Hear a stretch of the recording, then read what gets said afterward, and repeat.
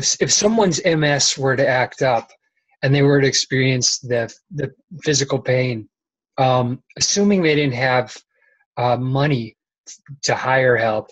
um, what are some what are some suggestions that uh, on which they could rely?